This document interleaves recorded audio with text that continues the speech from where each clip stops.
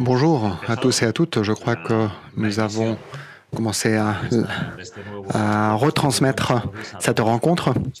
Euh, merci de participer à cette nouvelle table ronde, rencontre de professionnels entre l'Espagne, la France et l'Amérique latine. Pour des professionnels du secteur du livre, du secteur de l'édition. Aujourd'hui, nous allons parler du livre, le numérique euh, donc, euh, le livre et le numérique, ombres et lumières. Nous allons aborder ces changements et ces surprises euh, pour tous ceux qui travaillent dans la chaîne du livre. Il faut aussi remercier l'Institut français et à toute son équipe pour l'organisation et bien sûr merci à Action Culturelle pour ce travail merveilleux pour nous permettre de nous rencontrer et d'écouter les voix des professionnels qui vont intervenir.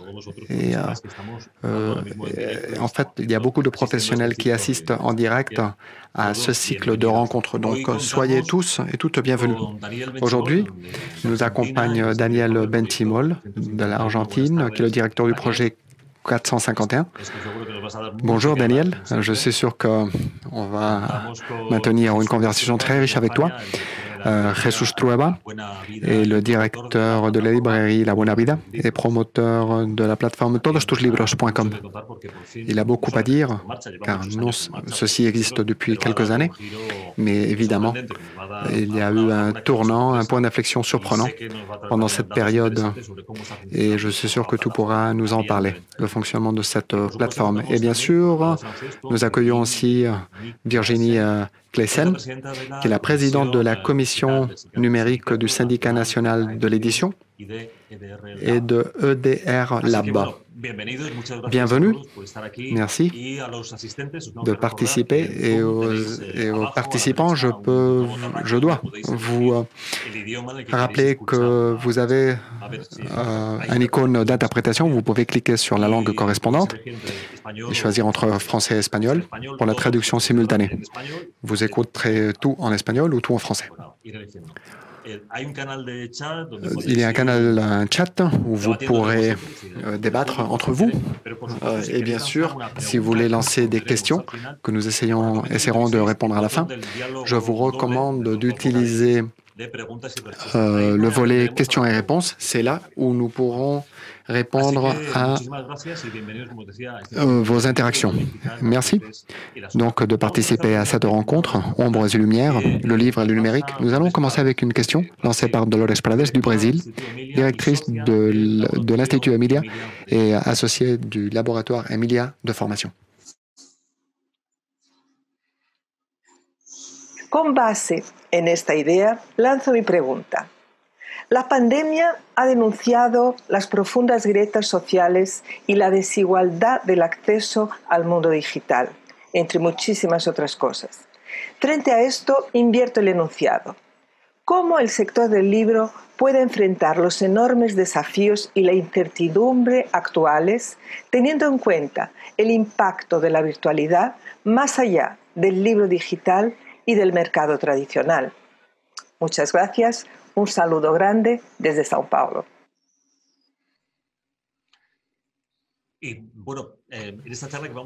Donc, en rebondissant sur euh, la question lancée par Dolores, précisément, je vais la relancer euh, directement à Daniel, car de tous les blocs que je voudrais aborder, nous devons euh, aborder les données du numérique.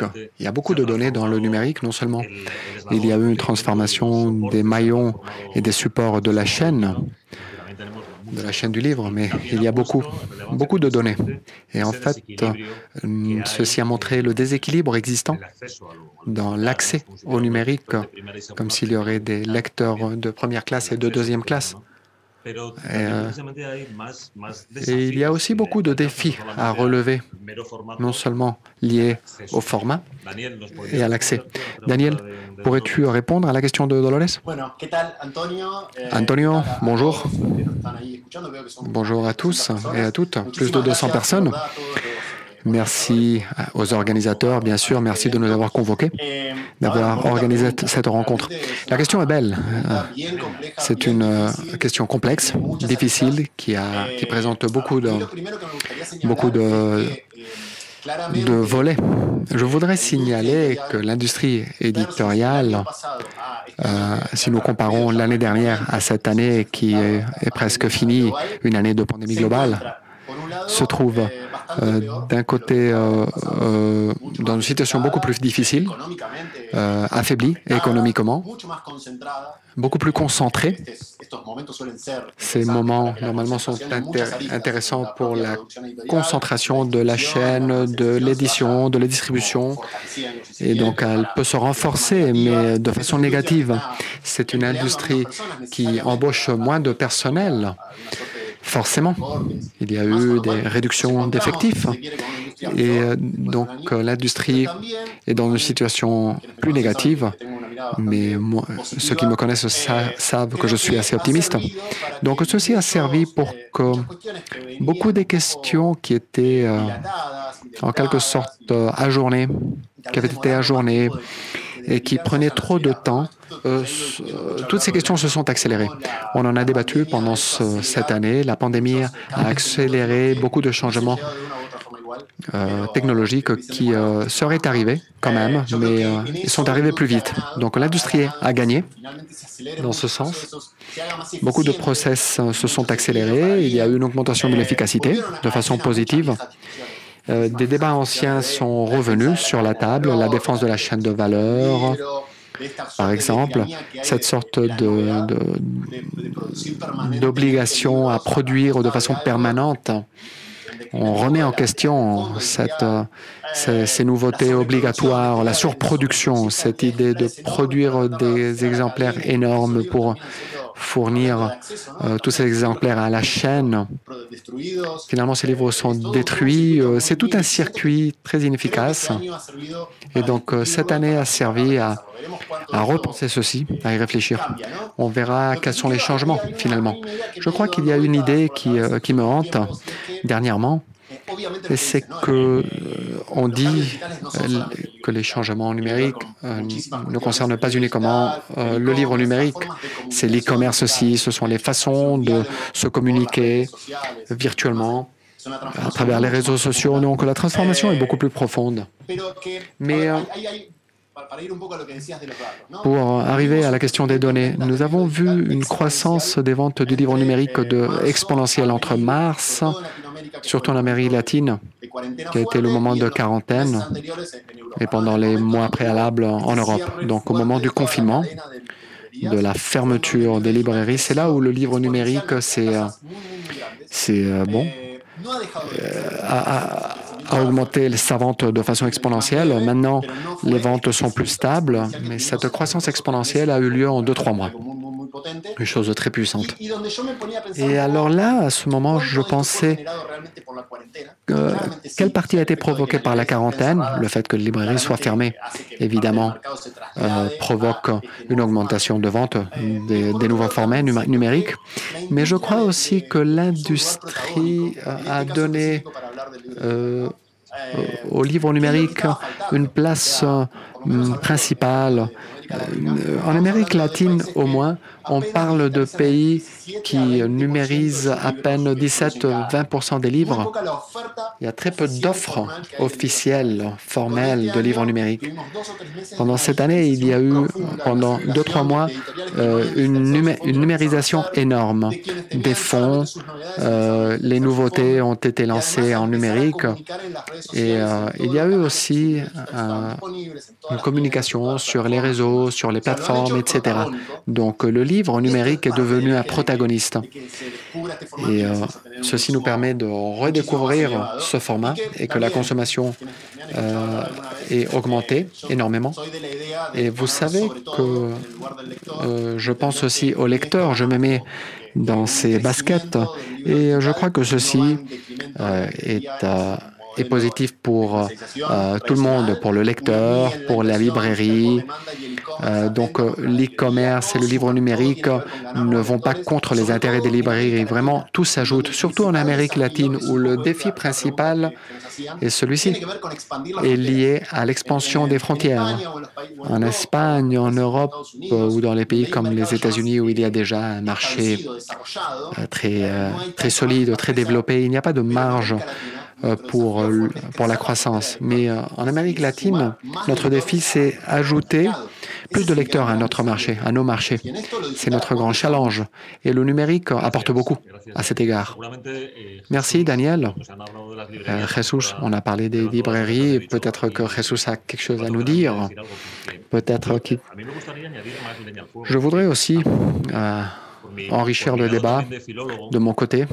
En ma qualité de philologue et de lecteur compulsif, j'ai vu que la pandémie nous a offert un moment exceptionnel, euh, et on l'a vu dans les données en provenance euh, du Royaume-Uni. Euh, il y a longtemps qu'on ne lisait pas autant. Donc pour la première fois, tous ces livres qu'on avait achetés et qui nous regardaient des étagères, et euh, apparemment on a commencé à les lire. Beaucoup. Dans les bibliothèques même, avec le prêt numérique, on a commencé à lire beaucoup. Dans la région de Madrid, on a des bibliothèques qui fonctionnent à, à leur pleine capacité. Donc, euh, on a vu que euh, tout le monde veut, comme dit Daniel, ajouter de nouveaux lecteurs qui achètent de, livres, mais il faut les lire. C'est l'essence. Donc il faut s'accrocher à la lecture, non, non, seulement les jeunes, mais accrocher tout le monde à la lecture. Et apparemment, à un moment donné, on a pu lire, même si les ventes, euh, bon, indépendamment des ventes, on a beaucoup lu. C'est un moment de, de, raccrochage. Et après, euh, les lecteurs ont voulu acheter de nouveaux livres. Donc, Jesus, parle-nous un peu des librairies. Je ne vais pas Évidemment, je ne vais pas m'opposer aux livres électroniques. Ce sont des formats qui peuvent coexister parfaitement. Ce qu'on a vu pendant la pandémie, c'est... Euh, bon, nous avons vécu subi une fermeture de notre activité, de nos magasins, de nos librairies qui sont liées à l'activité physique. Et le travail des libraires, vraiment, euh, n'est pas toujours lié aux ventes. Euh, tout simplement, euh, il est lié à la création de nouveaux lecteurs, l'attraction, la vulgarisation, le fait de montrer de nouveaux auteurs, de nouveaux livres, être des disons, favoriser la lecture et la renforcer. Donc, euh, c'était déjà un miracle car les marges des livres sont déjà très, très réduites et en plus, nous avons assumé cette charge, cette nouvelle fonction. Et normalement, il n'y avait pas de contraprestation euh, économique. Donc, euh, nous avons raison. Nous devons créer euh, de nouveaux lecteurs et parallèlement, nous avons subi ce que beaucoup de secteurs euh, physiques, entre guillemets, ont subi pendant la pandémie. Il y a quelques jours, j'en parlais à mon fils qui fait des dessins très sympas. Euh, il a fait un sympa, il a fait un, dessin et je pensais, les, euh, si vous me laissez, je peux les partager. Curieusement, nous avons eu euh, toute une série de soutiens présumés. Je ne sais pas si vous voyez mon écran. Je ne sais pas si vous, vous pouvez voir la présentation. Oui. Non, euh, je te vois, je ne vois pas, je ne vois pas la présentation. Euh, Jesus, tu dois partager ton écran. Ah, maintenant, maintenant oui. Donc,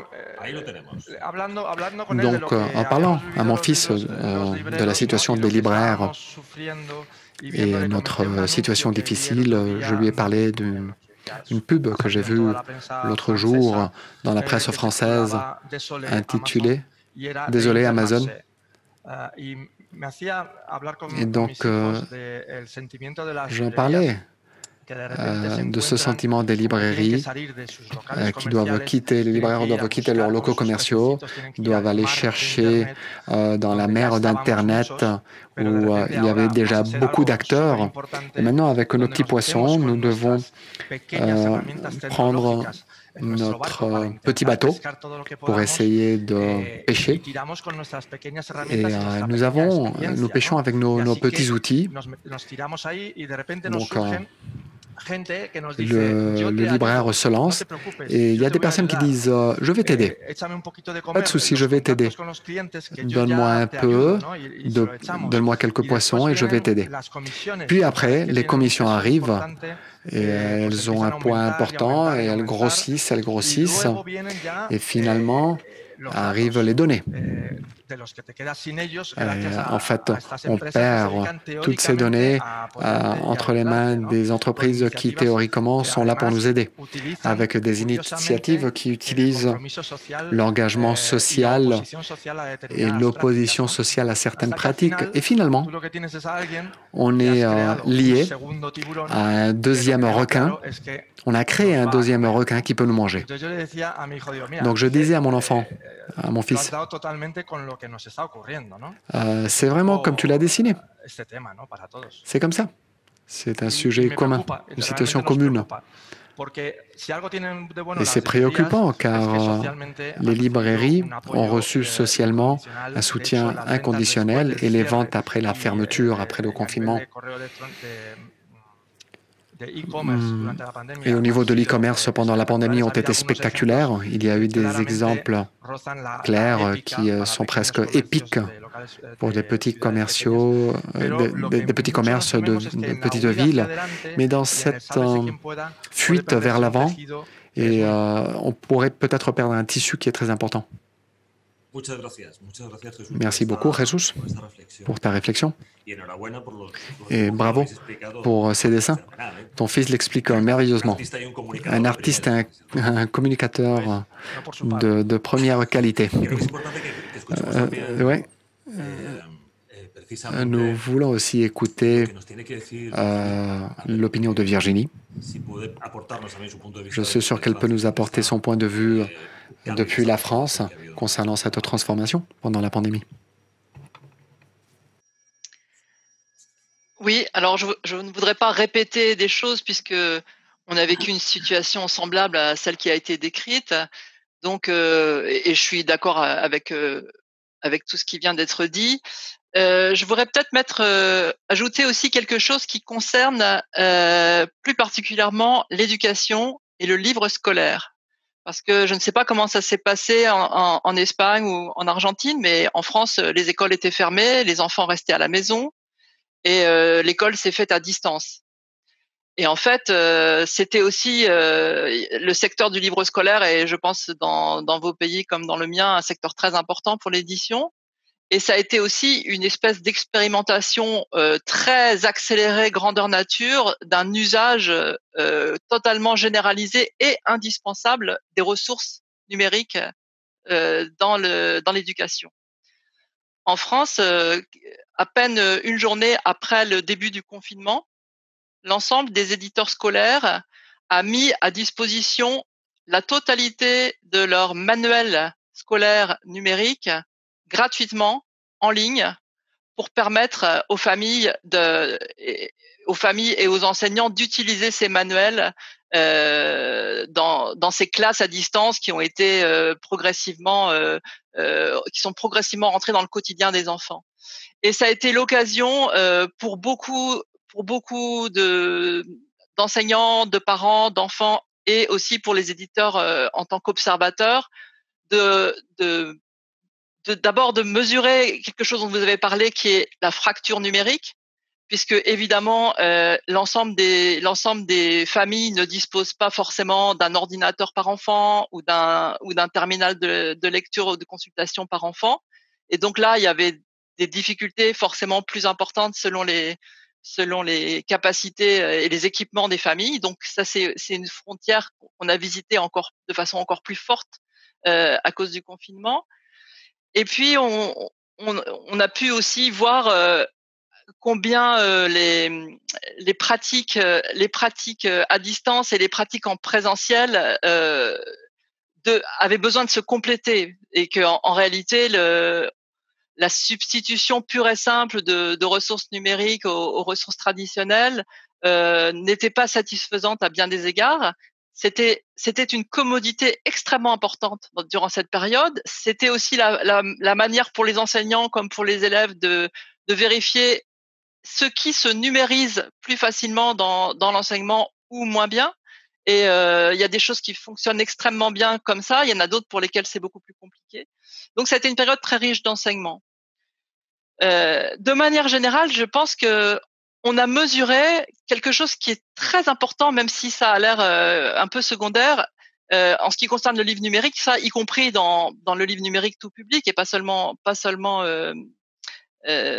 scolaire, c'est la notion de commodité, tout, simplement. Et euh, on dit beaucoup de choses sur le livre numérique en permanence, mais il y a une des raisons qui fait que des lecteurs qui sont même très attachés au livre papier lisent parfois en numérique, c'est vraiment cette, histoire de commodité. Et, là, typiquement, dans l'impossibilité où les gens étaient de, pouvoir se procurer leurs livres et d'aller dans leur librairie, euh, la, la, commodité de, du, du, livre numérique que l'on peut acheter en quelques clics, que l'on peut acheter à n'importe quel moment du jour euh, ou de la nuit que l'on peut obtenir immédiatement et quel que soit l'état du monde en, en réalité, euh, elle a elle a littéralement été euh, euh, comment dire, elle elle s'est manifestée de façon très très très très forte.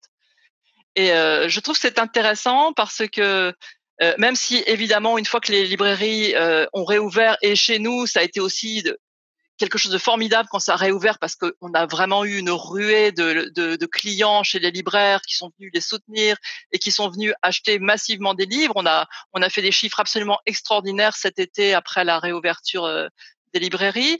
Euh, je, je, pense que pour pas mal de lecteurs, c'est cette, cette possibilité d'accéder aux livres numériques va venir maintenant s'inscrire dans leur pratique de lecture euh, parmi d'autres et euh, avec en apportant cette notion de commodité qui existait déjà. Hein, euh, chaque, tous les gens qui utilisent la lecture numérique euh, et, qui, la plupart d'entre eux, n'ont pas abandonné la lecture papier, mais ont du plaisir à pouvoir voyager euh, sans, sans transporter des, des kilos et des kilos de livres et sans tomber en panne de lecture.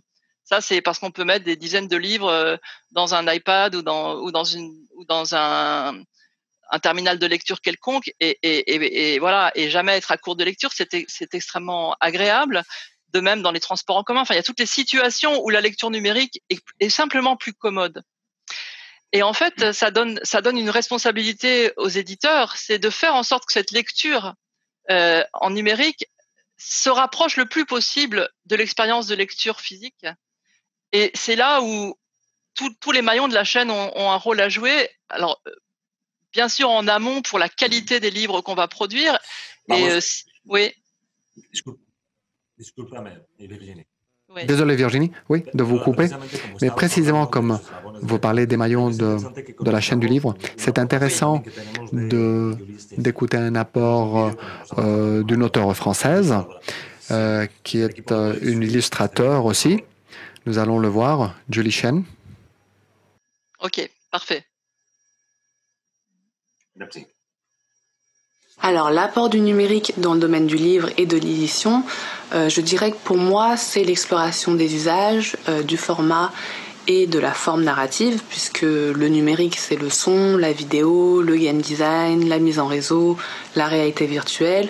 C'est beaucoup d'outils qui sont mis à disposition de l'auteur ou de son équipe et qui permettent d'enrichir euh, une histoire ou une expérience, qui permettent de raconter autrement euh, une histoire pour son propre projet.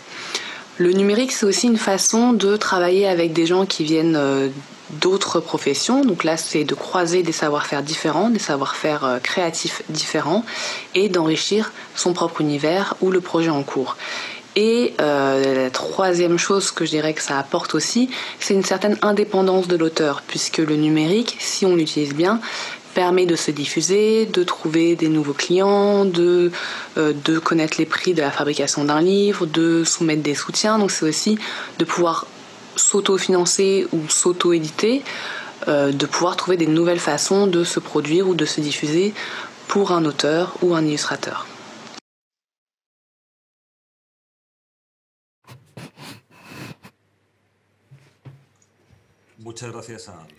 Merci à notre technicien d'avoir lancé euh, cette vidéo de Julie, illustrateur, qui nous rappelle l'évolution naturelle et prévisible du numérique.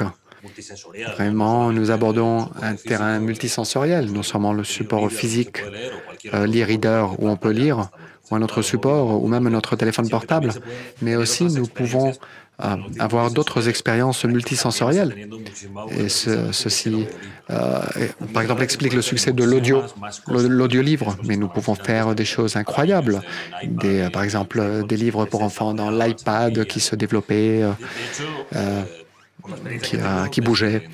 Donc, euh, à partir de mon expérience de Publish News, et si vous la connaissez, ceci permet d'avoir une vision globale, une vision globale claire et nette du monde de l'édition. Et euh, mon expérience euh, me dit que c'est comme un cirque avec plusieurs pistes, où il y a des expériences simultanées. Ça nous rappelle aussi que beaucoup, nous continuons à aimer le livre traditionnel, euh, sur papier, euh, sans discréditer le reste des options. En quelque sorte, nous sommes devenus des lecteurs de code, un peu comme euh, dans le film Matrix, mais nous, nous jouissons encore du livre en papier. Et ce que nous voyons actuellement, et ceci a été accéléré par la pandémie, nous, voyons que le numérique apporte des ombres et des lumières, comme le titre de cette rencontre nous offre des possibilités énormes, une évolution très rapide, comme disait Daniel, le clivage numérique, de nouveaux défis qu'il faut relever, comme disait Jesus. Et ce que disait Virginie, précisément, euh, nous voyons aussi euh, un secteur très important, l'éducation, euh, qui se trouve face à, à, ce changement, ce challenge. En France, en Espagne, la publication de livres scolaires est essentielle pour les données euh, générales de l'industrie. Ce sont des données qui apparemment vont toujours bien. Mais je voulais aussi euh, que l'on voit quelque chose de, de plus. en l'occurrence, je voudrais savoir euh, que se passe-t-il avec euh, une expérience très concrète, l'expérience de todostuslibros.com euh, pourra nous en parler. Ceci n'a pas été lancé maintenant, euh, ceci a été lancé il y a quelques années, mais oui, c'est un travail de plusieurs années. il faut, on essaye d'intégrer tous les maillons de la chaîne et bien sûr les librairies sur une seule plateforme. Euh, c'est de ça euh, que c'est ça que je mentionnais avant. Il ne s'agit pas de devenir de simples générateurs de contenu ou euh, distributeurs de livres. Hmm.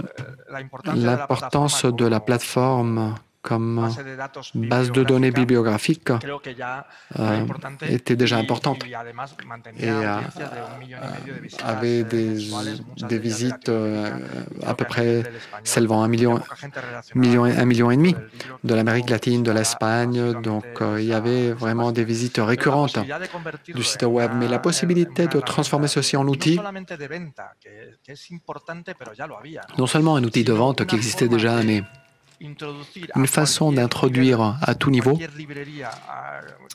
de permettre à toute librairie ayant, euh, ayant de l'expérience technologique euh, ou non, permettre à ces librairies de vendre des livres via e-commerce et la possibilité d'entretenir un rapport avec les acheteurs de livres en ligne, qu'ils soient des acheteurs de livres euh, sur papier ou non, et pouvoir les voir et créer un réseau de librairies et de locaux qui, normalement, dans une ville, dans, sont dans toute ville, même petite, il y a un local qui sert de point d'union du monde culturel au-delà de l'industrie.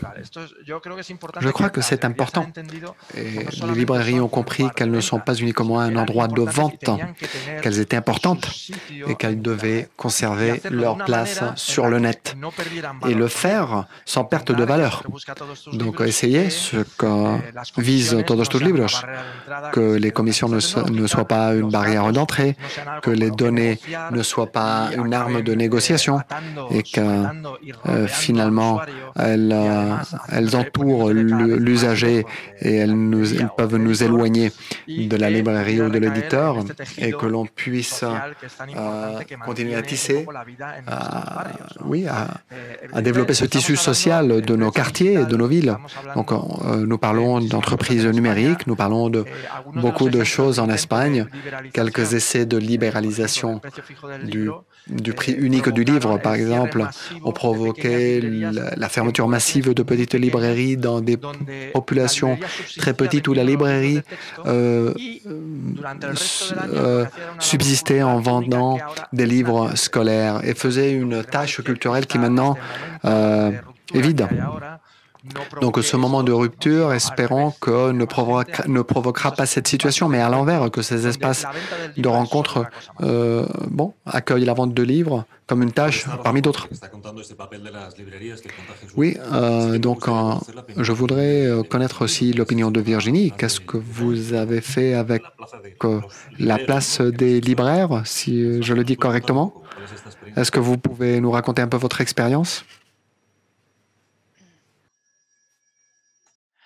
Alors, euh, durant, durant la pandémie, il y a eu plusieurs phases dans, dans, dans, la, dans les actions qui ont été menées par les libraires.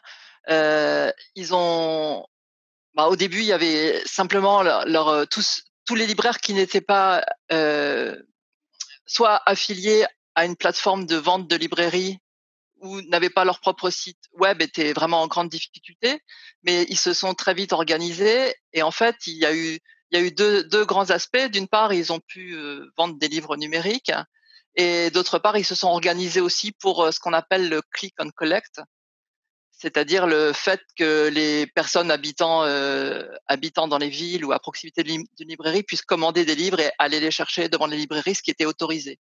Et maintenant, nous sommes dans un deuxième confinement et cette pratique du il y a eu, il y a eu euh, en France euh, énormément de protestations au moment du deuxième confinement, euh, lorsqu'on a annoncé que les libraires euh, n'étaient pas considérés comme vendeurs de, de produits de première nécessité, c'est-à-dire qu'on pouvait les fermer, en gros. Et donc, il y a eu tout un mouvement, un mouvement assez assez important en France pour pour protester très vivement. Euh, pour l'instant, les librairies n'ont toujours pas réouvert encore.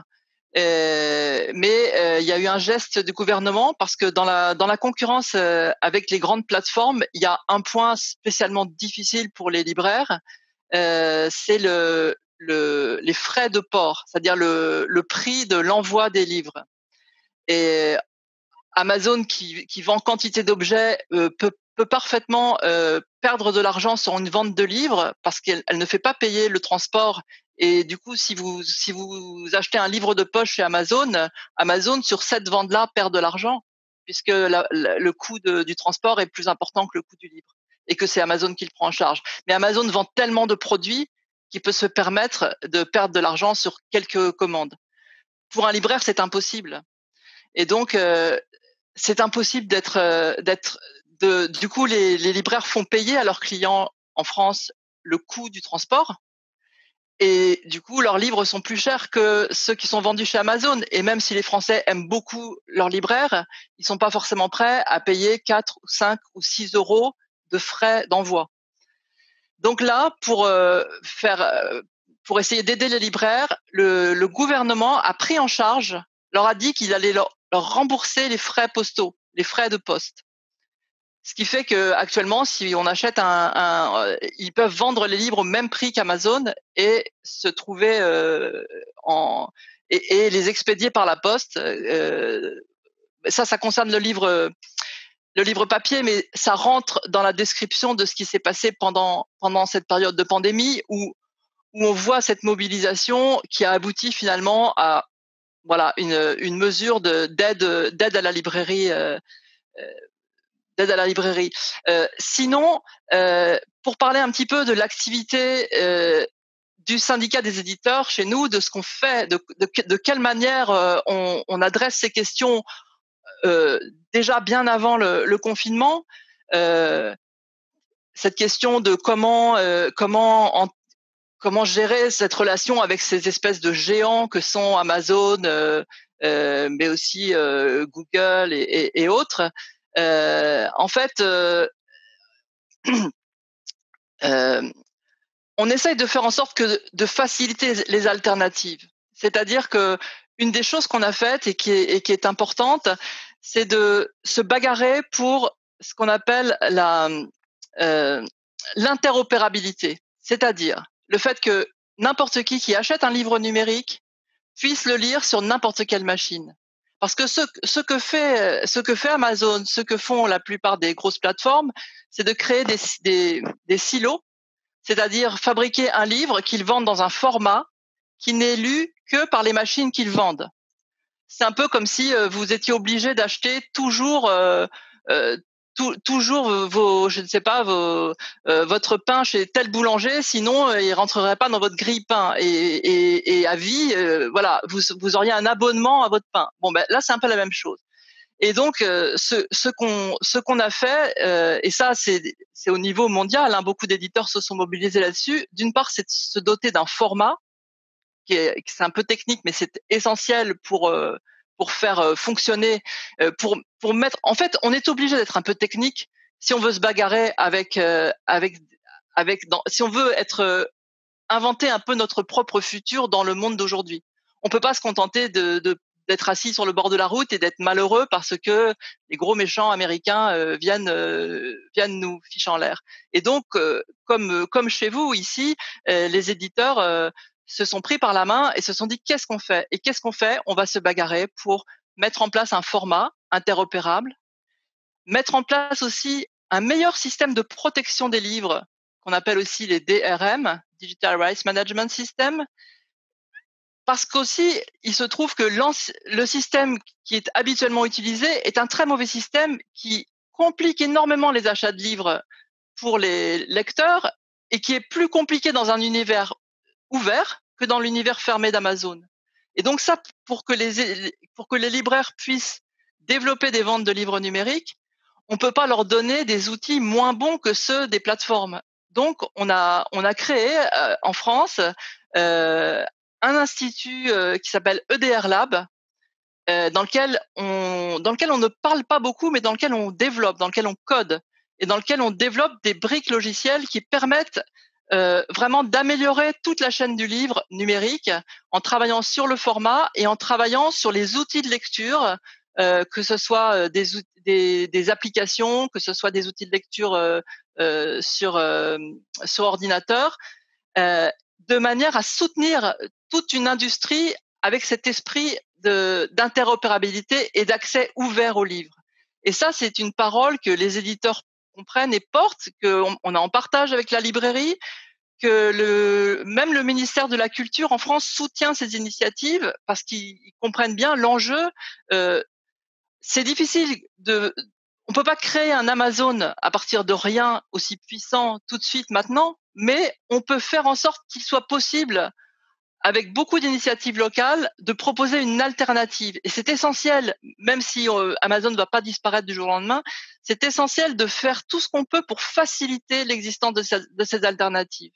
Et donc, euh, je vous invite, si, si, si, ça vous intéresse, à aller voir le site de EDR Lab, euh, EDR Lab, L-A-B, euh, qui est en anglais, donc vous pourrez le, le, le lire. Et même, euh, j'invite mes, mes confrères euh, espagnols et, et d'Amérique du Sud à se joindre aux travaux de DERLAB qui travaillent euh, de façon ouverte et qui et qui a des, des adhérents et des gens qui collaborent au code euh, dans dans beaucoup de pays du monde, de, au Japon, en Corée, euh, aux États-Unis, des gens qui viennent travailler et non seulement sur des outils de lecture, mais aussi pour faire en sorte qu'on puisse mieux traiter tous les types de livres en numérique. Par exemple, il travaille sur, des, sur l'adaptation du format EPUB pour la bande dessinée, pour faire des bandes dessinées de meilleure qualité en, en numérique et avec des standards.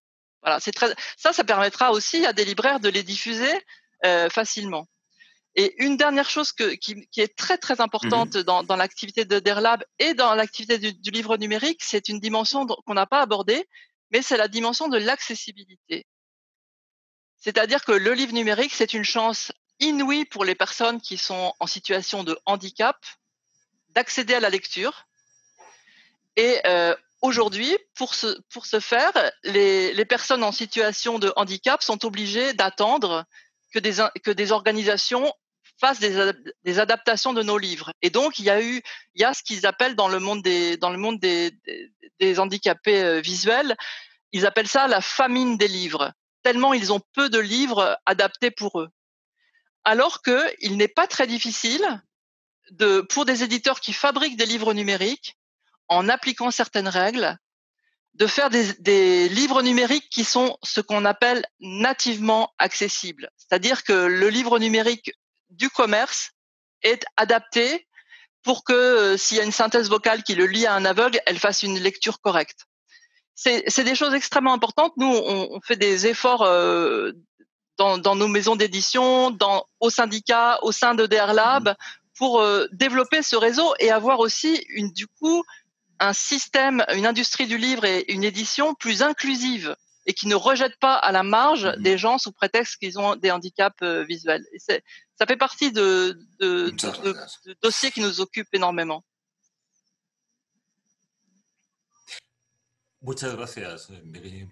Merci beaucoup Virginie pour euh, cet apport euh, si, euh, si, intéressant, si intéressant et pour nous décrire ce que vous faites à EDR Lab. C'est une référence vraiment, ce que vous faites dans le syndicat d'éditeurs. Je voulais passer la parole aussi à Daniel pour savoir si les librairies, au moins en Argentine, réussissent à, à, bon, à travailler pour les métadonnées et travaillent euh, dans, dans, en visant un, une certaine union, une défense commune. Bon, en Argentine, il y a peu d'expérience. En Argentine en particulier, le maximum euh, provoqué par la pandémie, c'est l'utilisation de l'e-commerce dans les librairies. Vous parlez librairie, mais de façon presque individuelle, comme action individuelle de chaque librairie. Après, nous avons des expériences qui sont encore lointaines de Todos tus Libros, mais au Mexique, nous trouvons les, le réseau de librairies indépendantes. Je sais que c'est très différent, mais euh, disons que nous retrouvons un peu le modèle de bookshop aux États-Unis qui essaie de pénétrer le marché européen. Et euh, donc, en rebondissant un peu sur les commentaires de Jesus et de, et de Virginie, et euh, par rapport à la question précédente, il y a, je trouve qu'il y a une chose intéressante, c'est que l'industrie a voulu être l'acteur principal. Jusqu'à présent, euh, et je le dis en termes généraux, et quand on parle en termes généraux, évidemment, on perd les nuances, mais en termes euh, généraux, je crois que l'industrie a été très réticente à, à, adopter une nouvelle technologie. Toute nouvelle technologie était considérée un ennemi des dynamiques de production et de commercialisation habituelles. Ceci, euh, l'industrie a bougé toujours euh, avec l'idée de survivre et ce n'est pas idéal. Euh, toutes les actions sont liées à comment survivre et comment passer cette année. Mais il y a très peu de stratégies sur le moyen et sur le long terme d'ici 5-10 ans. Je ne parle pas d'une futurologie très lointaine, mais euh, peut-être Virginie l'indiquait, euh, euh, moins de bien, bien comprendre ce qui nous interpelle, ce qui nous concerne. Et quand quelqu'un vient à ma librairie, je lui dis non, le produit est épuisé et je ne donne pas, je n'offre pas une alternative. Euh, ou quand vous savez que les livres qui commercialement sont produits en Argentine, je dirais que c'est peut-être un exagère, peut-être 5% arrivent aux librairies espagnoles. Et la circulation du livre en général en Amérique latine est très réduite, très restreinte. et en général reste entre les mains de grands groupes éditoriaux. Et nous avons des technologies actuellement pour faire voyager les livres d'une autre façon, ne pas nier ne pas bloquer l'accès des lecteurs aux livres. Donc le plus grand défi, je crois, de toute la chaîne de valeur, euh, l'idée de la chaîne euh, qui nous attrape, qui nous, en quelque sorte, qui nous enchaîne, qui nous enferme, je ne l'aime pas trop. Mais le grand défi euh, consiste à la visibilité, à trouver une visibilité et à cette, ce transfert, ce voyage des livres. Euh, on le mentionne souvent, mais euh, c'est vrai qu'il faut travailler pour la visibilité du livre. Oui, mais personne ne sait, ne sait pas exactement euh, en quoi consiste ceci. Donc, je, suis d'accord avec Jesus. Au moment de fermeture complète des librairies, nous avons perdu cette découverte des livres. Et on le voit même dans notre activité, comment euh, il y a eu moins d'achats de nouveautés pendant ces mois. Et même maintenant, avec des librairies ouvertes à Buenos Aires, nous avons un fonctionnement assez normal, mais euh, les, personnes arrivent dans nos librairies euh, effrayées. Elles arrivent, elles font leurs petites transactions et elles partent. Mais au-delà de ce, des activités culturelles, l'axe des librairies, c'est la découverte de nouveaux livres. Et même, je dirais, ceci a été mesuré par des sondages, pour l'achat de livres numériques. Beaucoup de personnes euh, vont dans une librairie ils posent des questions, puis après, ils achètent le livre en numérique. Donc, euh, cet axe a été perdu cette année.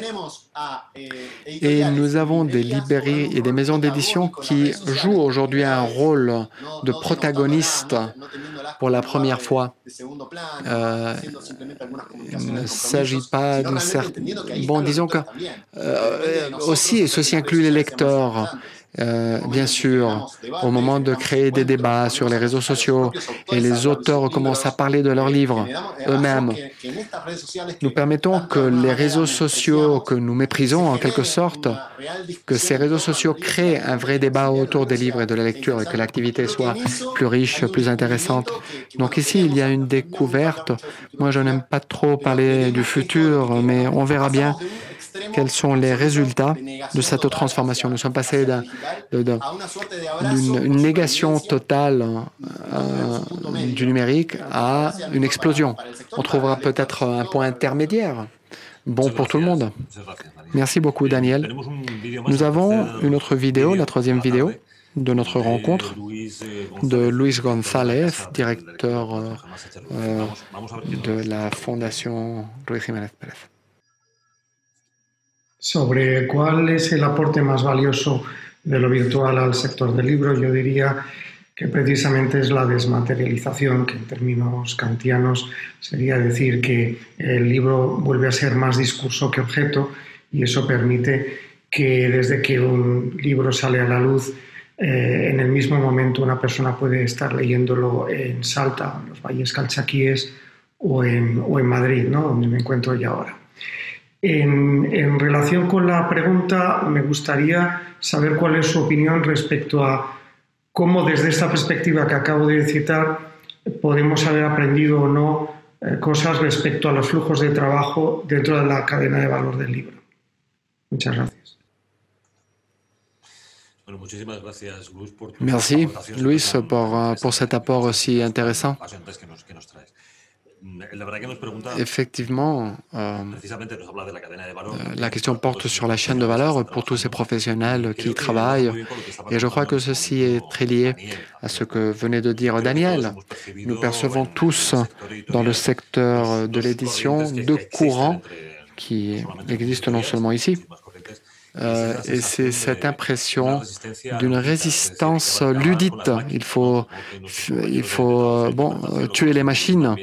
Et euh, nos collègues de la traduction et de l'interprétation le, connaissent aussi. les correcteurs se disent les machines vont nous remplacer. ce sont les, les outils d'autocorrection. Mais il faut savoir utiliser cette poussée numérique. Et depuis longtemps, chez Calamoicran, nous encourageons la la formation de professionnels qui comprennent que la machine peut nous permettre de faire un travail plus productif. Ce n'est pas uniquement une question de vitesse, mais de tirer profit des avantages. et je le vois parmi les professionnels de, de l'édition, non seulement le petit correcteur, mais aussi avec l'éditeur qui travaille, ceux qui travaillent avec euh, en XML, car au moment de planifier un texte sous ce format, ça va nous permettre, ça pour euh, le publier sur papier, en e-book, et c'est euh, transformable, adaptable. Donc il y a un changement très important ce que vient de dire Louis, cette transformation, peut-être Virginie pourrait nous en parler du point de vue du syndicat national. Comment vous vous transformez? Est-ce que vous avez perçu dans le travail quotidien des professionnels cette réticence, cette résistance contre l'avancée des machines? Alors, je, dirais que bien, heureusement, euh, bien sûr qu'elle a existé et peut-être qu'elle existe encore un peu, mais moi, ça fait plus de plus de 12 ans que je que je suis engagé au syndicat national de l'édition et j'avoue que les choses ont énormément changé, énormément changé. Et euh, je crois que la plupart des la plupart des acteurs du monde du livre ont, ont bien compris qu'on ne pouvait pas avoir on ne pouvait pas développer son activité avec une attitude uniquement défensive et que même s'il y a une il y a une réalité d'un danger d'un changement brutal quand quand on occupe quand on quand on exerce un métier aussi ancien aussi euh, euh, mûr dans dans ses savoir-faire euh, et que brutalement d'autres savoir-faire viennent bouleverser les habitudes, viennent offrir des opportunités qui n'existaient pas, le, sentiment d'inquiétude, il est tout à fait normal et légitime. Simplement, on sait qu'on ne peut absolument rien faire si on, si on en reste là. Et je pense que un peu partout dans le monde, les éditeurs sont passés de ce sentiment un peu d'inquiétude à euh, l'idée qu'il y avait des opportunités dans ces changements et qu'il fallait se mettre en capacité d'attraper ces opportunités et de et de mettre à notre profit. Mais, mais ça, je crois vraiment que c'est pas seulement dans l'édition, c'est dans c'est absolument dans toutes les industries. Regardez ce qui s'est passé dans la musique. La musique, euh, le monde, l'industrie de la musique a accompli dans la douleur, dans la douleur, au prix de transformations euh, coûteuses, avec des licenciements, avec des, avec des changements complets dans l'organisation, mais elle a accompli une mutation euh, complète en l'espace de 15 ans. Et, euh, et, et, euh, et, vraiment, les, les nouveaux professionnels du monde de la musique ont des savoir-faire, des façons de réfléchir et des réflexes totalement différents de ceux qui agissaient dans les années 80 ou dans les années 90. Il y a des choses qui mmh. changent pas. La, la qualité d'un directeur artistique ne va pas changer, mais par contre, toute la mise en marché, toute la découverte des, des, auteurs, la capacité des auteurs à aller directement trouver leur, leur, leurs auditeurs, on observe des choses assez proches dans le monde du livre. Alors, c'est sûr que si on, si on a peur, on peut rien faire. Il faut attraper des choses. Et il faut s'attendre. Je voudrais juste ajouter une chose. Excuse-moi, excuse une, une, dernière chose. Il faut s'attendre, je crois, à des bouleversements encore plus importants, notamment à cause de l'intelligence artificielle. Ça a été mentionné, la traduction automatique, mais on, a, on va avoir aussi de la rédaction automatique et de la rédaction automatique de mmh. qualité. Et il faut s'attendre à, ce que bientôt euh, notre capacité à prouver que nous sommes des êtres humains sur Internet devienne de plus en plus compliquée parce qu'on va avoir on va avoir des fake news automatiques, on va avoir euh, des articles de presse automatiques et on va avoir des livres automatiques. Et il va falloir être capable, en capacité de réfléchir à la manière dont, on attrape ça et dont on évolue dans un monde qui permet ça.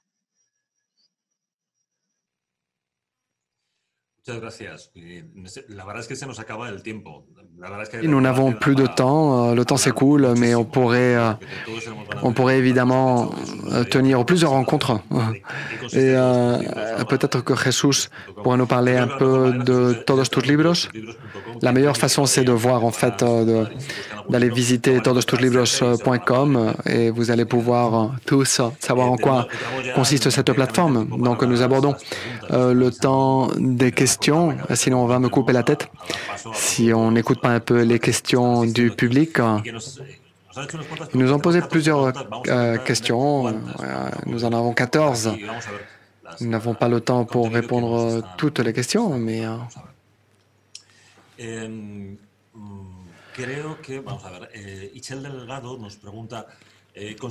considérez-vous que la numérisation a eu le même impact sur tous les secteurs de l'industrie de l'édition?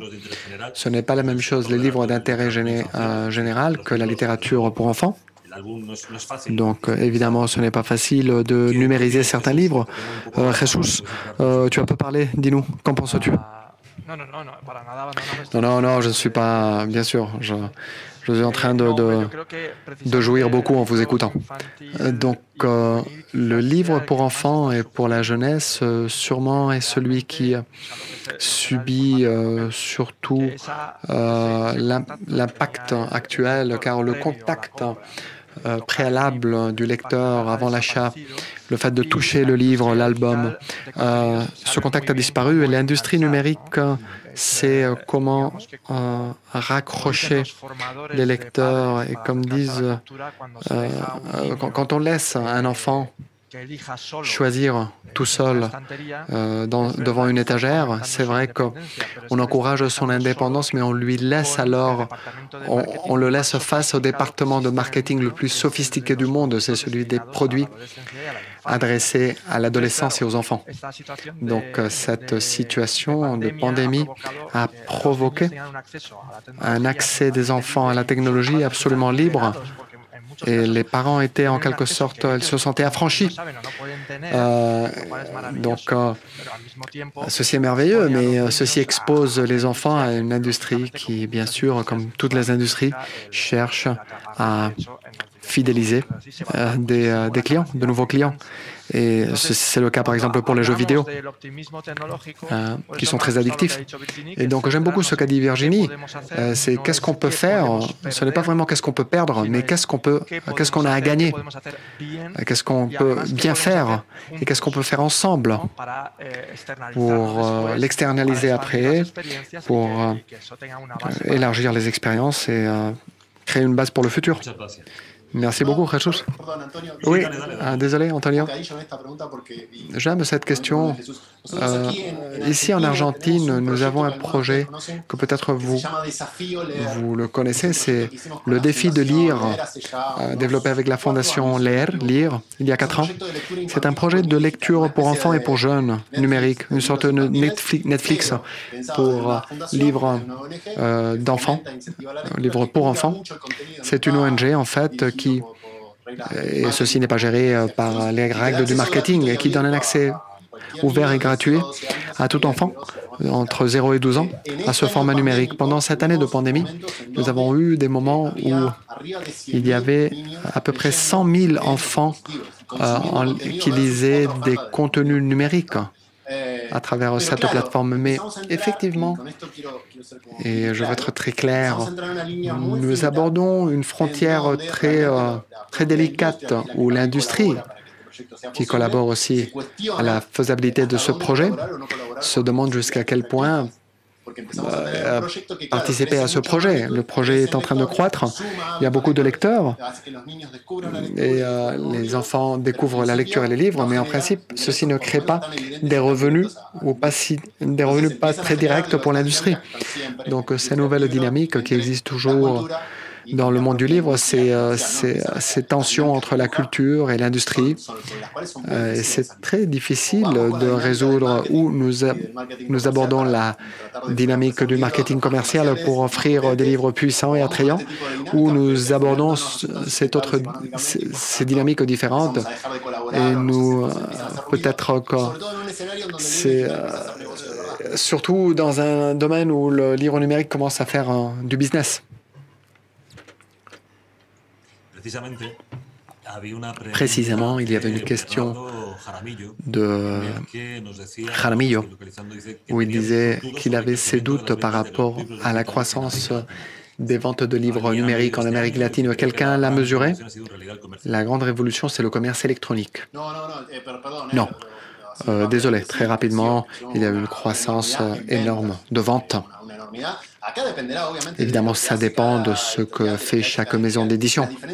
Les différences entre les types de, maisons d'édition euh, expliquent aussi la vente de certains formats et non pas d'autres. Mais il y a des maisons d'édition où le livre numérique en représentait 10% et euh, maintenant il représente 25%, ou de 5, ils sont passés à 10%. Donc la croissance a été de 100 à 150%. Oui, bien sûr. J'ai révisé d'autres questions et euh, je vois que certaines ont été déjà répondues avec vos interventions. Et euh, d'autres questions étaient euh, des cadeaux, comme la question pour Jesus. Est-ce qu'il y a une alternative réelle à Amazon en Espagne Et effectivement, todos tus libros et d'autres questions ont été, comme je disais, répondues par euh, nos intervenants. Désolé de ne pas pouvoir répondre à toutes les questions, mais nous avons... Euh, notre temps s'est écoulé et nous devons aborder nos conclusions.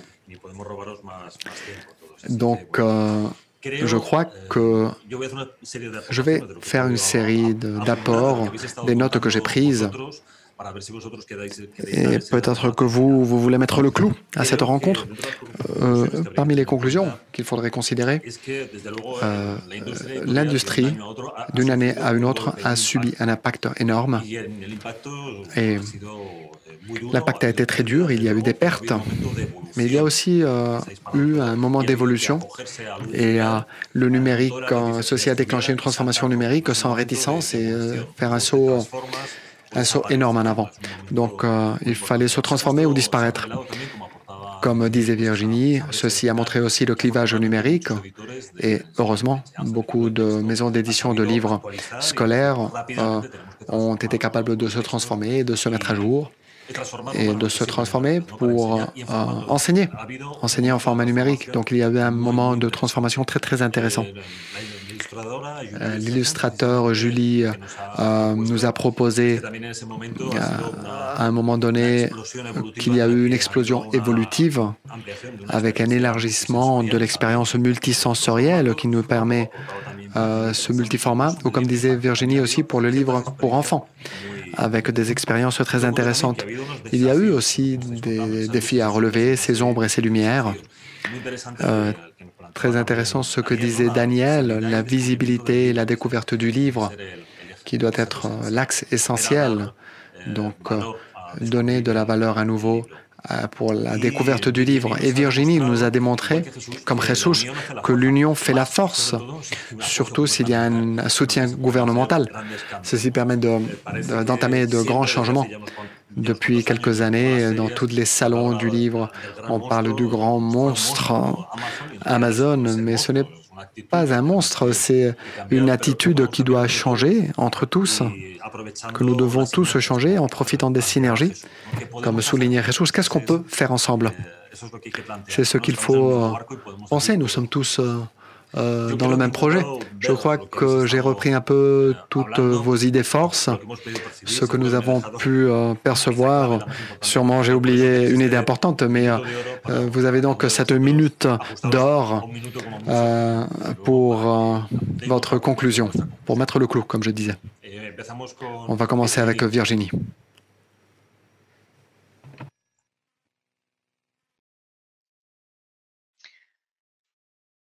Oui, ben je, en fait, je, suis presque triste d'ajouter quelque chose après, euh, tes derniers mots, là, de dire euh, faisons des choses ensemble. Je pense que c'est vraiment la clé. Et euh, toute cette toute cette action qu'on peut peut, il y a, y a énormément de choses à faire dans tous les domaines, et, et c'est ça qui fait beaucoup beaucoup l'intérêt du métier en ce moment, c'est de justement d'accompagner. C'est une période d'extraordinaire mutation c'est passionnant et euh, c'est vraiment dans, dans l'ouverture d'esprit, dans, dans, le travail de, de compréhension, dans le fait d'avancer, de d'aller chercher des idées aussi en dehors de en dehors de notre industrie, en dehors de sortir un petit peu de notre notre jardin à nous pour aller voir dans celui des autres et, toujours plus réfléchir pour mettre en œuvre des, idées et des innovations qui vont nous aider à fait en sorte que le livre continue d'avoir la place extraordinaire et magnifique qu'il a dans nos sociétés. Et, il y a aussi un enseignement dans, ce confinement, c'est que finalement, euh, que les livres soient numériques ou imprimés, il y a un moment où je pense que ça devient un détail. Ce qui est essentiel, ce qui est fantastique, c'est que des gens se tournent vers les livres pour trouver des réponses aux questions qui se posent. Et on a eu vraiment une année pleine de questions.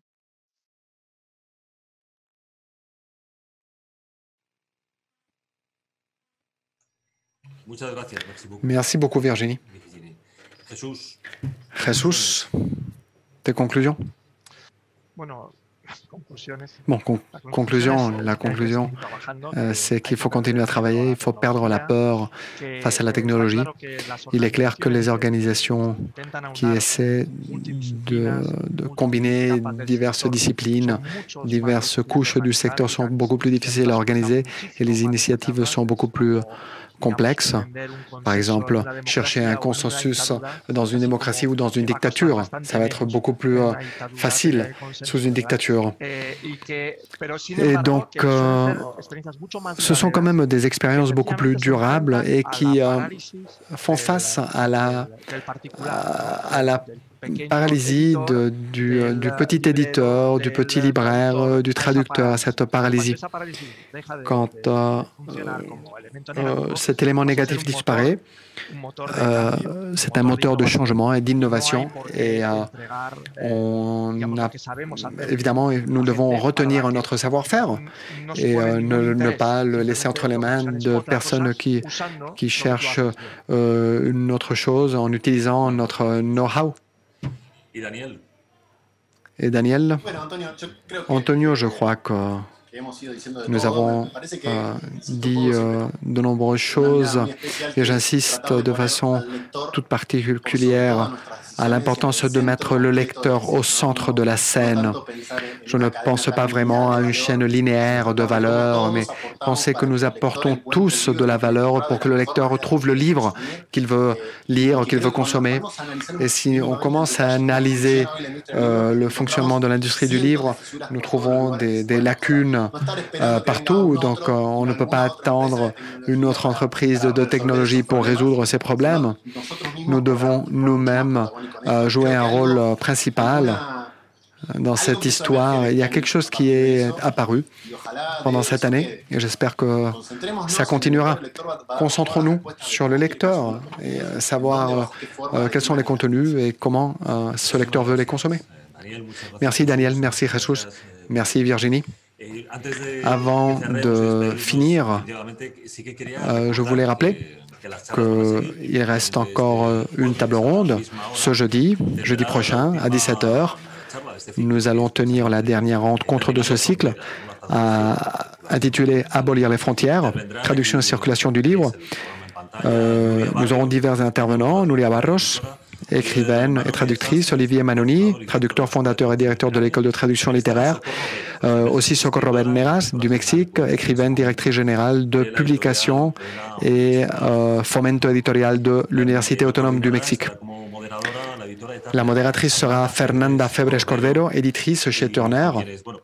Euh, avec eux, nous pourrons euh, maintenir une conversation, je suis sûr, très enrichissante. Vous êtes tous et toutes invités.